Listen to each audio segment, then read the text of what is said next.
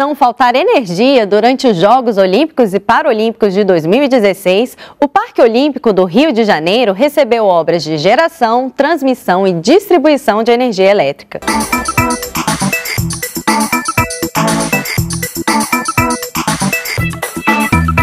Primeiro empreendimento a ficar pronto dentro do Parque Olímpico, que fica na Barra da Tijuca, zona oeste da cidade. A subestação vai ser a responsável por fornecer energia elétrica para todo o parque, onde vai acontecer a maioria das competições dos Jogos Olímpicos e Paralímpicos do Rio 2016. A obra durou 12 meses e incluiu a instalação de linhas subterrâneas, a construção da estrutura e a compra de equipamentos.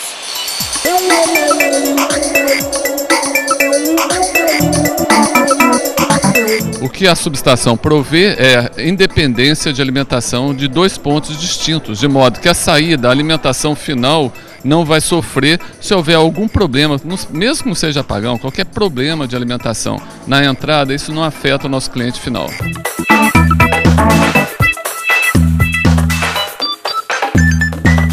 Entender como o sistema vai funcionar é fácil.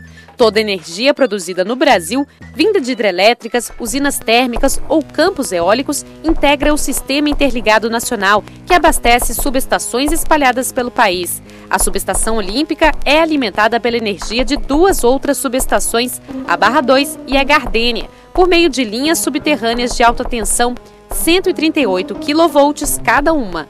As linhas foram construídas para a obra. As duas fontes de energia são recebidas de maneira independente. A energia é distribuída por painéis alimentadores para as oito arenas e outros edifícios do Parque Olímpico. A potência total da subestação é de 120 MVA, suficiente para abastecer um bairro onde vivem 43 mil pessoas.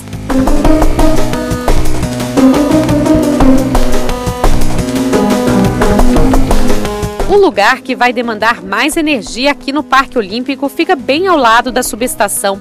É o Centro Internacional de Transmissão, onde vão ficar as TVs do mundo inteiro que vierem para cobrir os Jogos Olímpicos e Paralímpicos do Rio de Janeiro. São esperados 27 mil jornalistas de todos os tipos de mídias, vindos de mais de 200 países.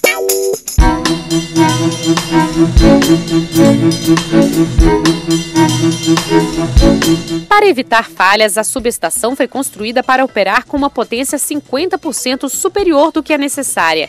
As duas fontes externas independentes garantem a distribuição, mesmo se uma delas parar de funcionar. Toda a tecnologia é de última geração. Os equipamentos podem também ser operados remotamente da central da Light.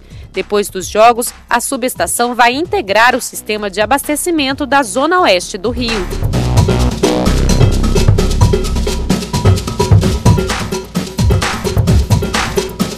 A carga dessa subestação, que hoje está dedicada só ao Parque Olímpico, ela vai ser interligada, quer dizer, os cabos de 13.8 kV vão ser interligados aos cabos da Light das outras subestações para que atenda também as cargas ao redor, vamos dizer assim, daqui do Parque Olímpico.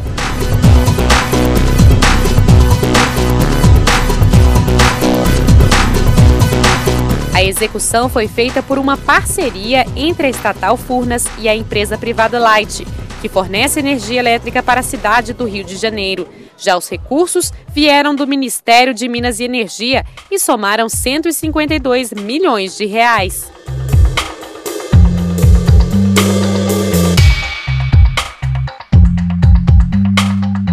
Depois que terminar os jogos, é, aquele, aquelas alimentações, como eu falei, que suprem o, o, o Parque Olímpico, é, não, ter, não teria mais a necessidade de redundância, você vai utilizar então para a região do Rio de Janeiro.